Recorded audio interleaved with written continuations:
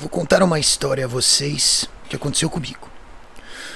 Hoje de manhã eu acordei mais cedo, como estou acordando durante a semana toda. E eu falei assim: eu vou surfar. Porque uma hora eu tenho dentista, tenho que pegar o molde do clareamento. Inclusive, doutor Gustavo, doutor Paulo, muito obrigado. Paulo Coutinho, fera. Sempre chamo de Gustavo, não sei porquê. Resolvi surfar.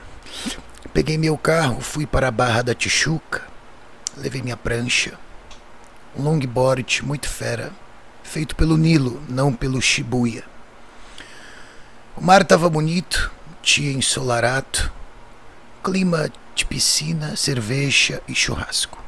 Família intocável, fé do Thales inabalável. Cheguei na praia muito feliz, contente que ia conseguir surfar um pouco. Havia surfado ontem também. Entrei na água, botei a prancha na água, senti a temperatura da água.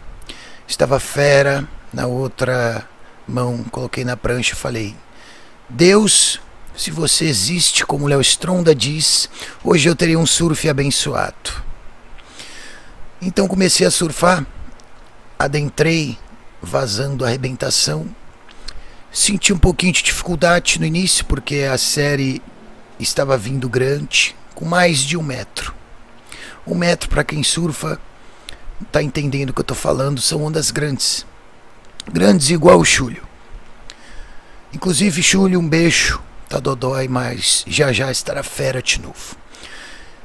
Então remei numas ondas, desci logo numa esquerda boa, uma canhota. Um cara do meu lado me olhou e falou assim: Você tem um sonho, né, filho?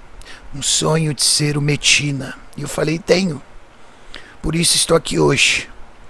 Logo depois, tentei pegar mais umas duas, três ondas, consegui pegar uma. Foi dando 11 horas. Pensei: O dentista é uma da tarde. Não posso demorar muito aqui, vou pegar a saideira. Logo após pensar nisso, veio uma série de ondas enormes. Comecei a remar para conseguir furar as ondas. Nesse meio tempo, antes disso, na verdade, eu pensei assim. Lembrei de um amigo meu que já quebrou a prancha, pensei. Como deve ser ruim quebrar sua prancha. Não é um acontecimento. Fera, é lamentável. É uma merda quebrar prancha. Depois disso veio a série gigante, eu tentei sair, passar pelas ondas para chegar no outside. E logo na primeira eu afundei e larguei a prancha para passar por baixo da onda, por baixo da onda que era gigante. Quando eu olhei para trás, a prancha em pedaços. Igual meu coração ficou quando o Ramon foi embora. Então pensei, fudeu, perdi 4 mil reais da minha prancha e talvez ainda me afogue para sair desse caralho aqui. Mas Deus estava comigo, Thales estava comigo em pensamento, e muita fé, muita luta, muita força e eu consegui pegar o pedaço da prancha que me restou e sair da água com sucesso. Uma moça pegou a parte da frente que da prancha que restou, falou para eu colar, mandei ela tomar no cu. Peguei a prancha em pedaços igual a porta do Titanic e fui até meu carro.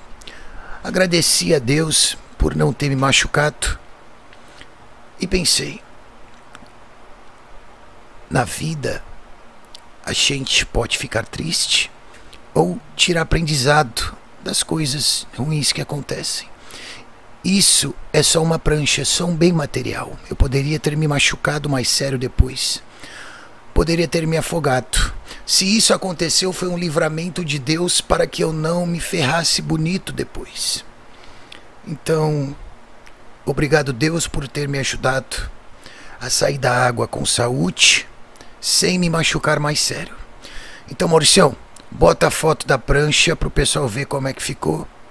Agora eu tenho que ir embora porque está na hora de treinar e trabalhar, porque eu sou um empresário muito bem sucedido, um homem que luta pelos seus objetivos e que precisa ganhar dinheiro agora para comprar uma prancha nova. Adeus, meus queridos. Essa é a lição de sexta. Não reclame das coisas ruins que acontecem. Não fique triste, não fique amargurado. Tudo acontece por uma razão na sua vida, seja a coisa boa ou coisa ruim. Aprenda a agradecer a Deus independente do que aconteça. Mauricião sabe disso. Até a próxima, fiquem com Deus, com Thales, tamo junto.